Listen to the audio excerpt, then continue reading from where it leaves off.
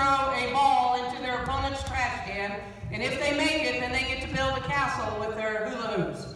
Once a castle is up, then the opponents are going to try to knock down one of their opponent's castles, and if that's accomplished, then they can take a ball out of the trash can.